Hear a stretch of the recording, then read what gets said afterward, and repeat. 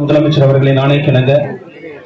இன்றைய தினம் போக்குவரத்து துறையின் சார்பில் நாமக்கல் தெற்கு வட்டார போக்குவரத்து அலுவலகத்திற்கான புதிய கட்டிடத்தினை மதிப்பிற்கும் மரியாதைக்கும் உரிய மாண்புமிகு போக்குவரத்து துறை அமைச்சர் அவர்களும் மாண்புமிகு வனத்துறை அமைச்சர் அவர்களும் திறந்து வைத்து சிறப்பித்துள்ளார்கள். இந்த நிகழ்வு மதிப்பிற்குரிய மாவட்ட ஆட்சித்தலைவர் அவர்கள் தலைமையிலும் மதிப்பிற்குரிய பாராளுமன்ற மாநிலங்களவை உறுப்பினர் மதிப்புக்குரிய சேந்தமங்கலம் சட்டமன்ற உறுப்பினர் அவர்களையும் மதிப்புக்குரிய திருச்செங்கோடு சட்டமன்ற உறுப்பினர் அவர்களையும் மேலும் அரசு துறை உயர் அலுவலர்களையும் உள்ளாட்சி அமைப்பு பிரதிநிதிகளையும் பத்திரிகை வருக வருக என அன்புடன் வரவேற்கின்றேன்.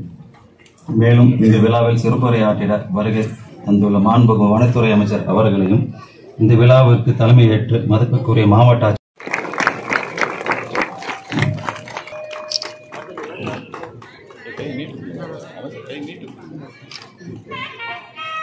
மாண்புமிகு போக்குவரத்து துறை அமைச்சர் அவர்களை விழா பேரவை வழங்கிடுமாறு பணிவுடன் கேட்டுக்கொள்கிறேன்.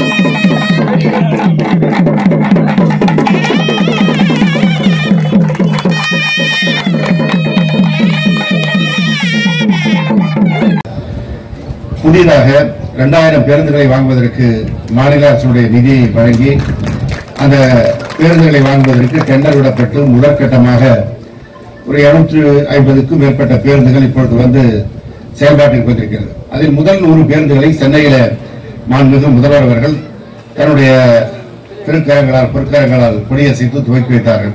அதற்கு பிறகு ஒவ்வொரு பகுதியிலும் அந்த பழைய பேருந்துகளை புதிய பேருந்துகளாக மாற்றுவதற்கு மாற்றி செயல்பாட்டிற்கு கொண்டு வரப்பட்டுக் கொண்டிருக்கிறது.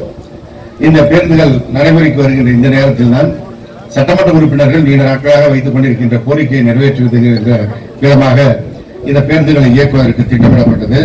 அதில் இன்றைக்கு இங்கே நடைபயணம் ஒன்றும் நடத்தப்பட்டது. அது நீங்க மாவட்ட அளவிலான புள்ளி விவரம் சொன்னீர்கள். மாநில அளவிலான புள்ளி விவரங்களில் இருபத்தைந்து வயதிலிருந்து முப்பத்தி ஏழு வயதுக்கு உட்பட்டவர்கள் தான் அதிகமாக விபத்திலே மரணத்தை எழுதுகின்ற நிலை இருக்கிறது. மிக முக்கியமான ஒரு இளமையான வாழ்க்கை தருணத்திலே அவர்கள் இந்த அதிவேகத்தில் செல்வதால் ஹெல்மெட் இல்லாமல் செல்வதால் இந்த விபத்துக்குள்ளாகின்ற சூழல். இருசக்கர வாகனம் அதிக விபத்து. அடுத்தது கார் ஓட்டுகின்ற பொழுது அவர்கள் பெல்ட் அணியாமல் செல்வது.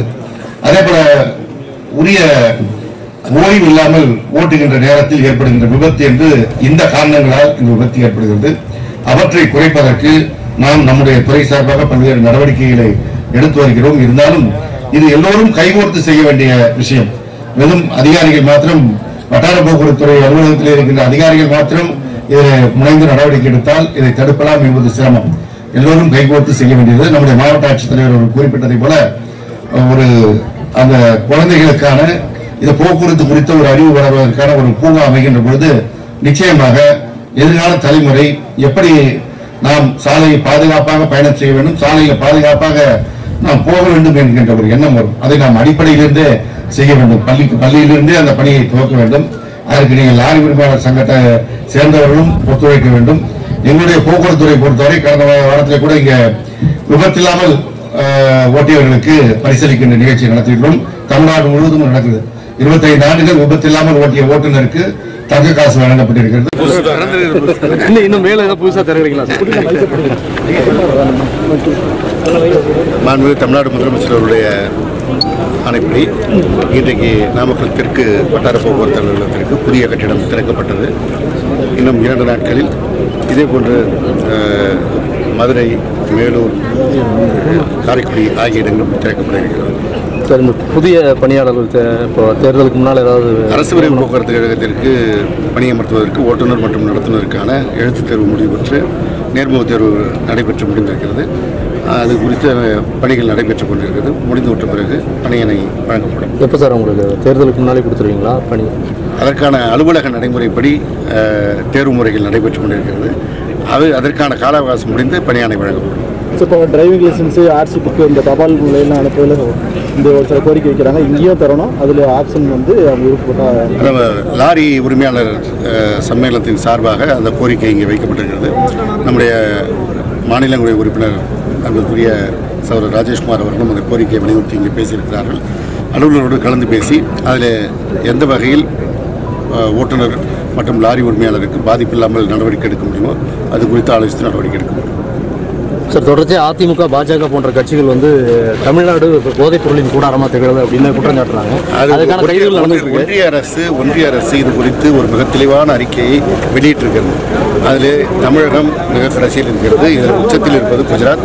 அந்த அறிக்கையின் அடிப்படையில் அவர்கள் இதை அறிந்து கொண்டு பேச வேண்டும். சார் கைது நடவடிக்கை நடந்துட்டு இருக்கு சார் தவறு இருந்தால் தவறு இருப்பது மீது நடவடிக்கை எடுக்கப்படும். போன தடவை